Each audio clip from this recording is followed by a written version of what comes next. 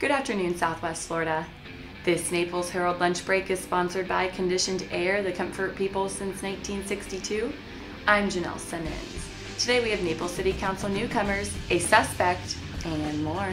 Today's Thursday, April 7th, and this is the lunch break.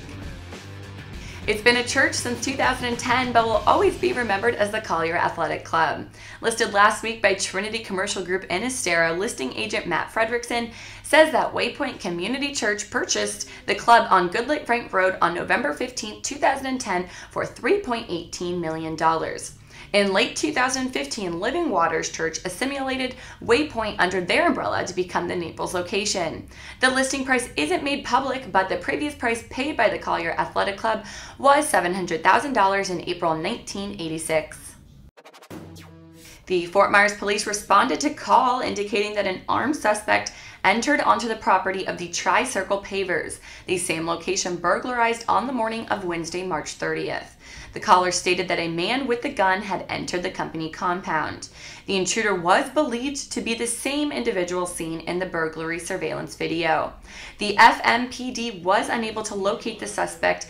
However, having been investigating this case since the March 30th burglary, the Fort Myers Police Department was able to take an individual into custody.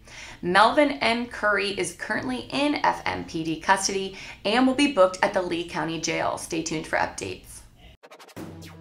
Do not forget to check out Katie Egan's stories on our three Naples City Council newcomers to learn a little bit more about them and their background. The three council members' names are Michelle McLeod, Reg Buxton, and Ellen Seigel.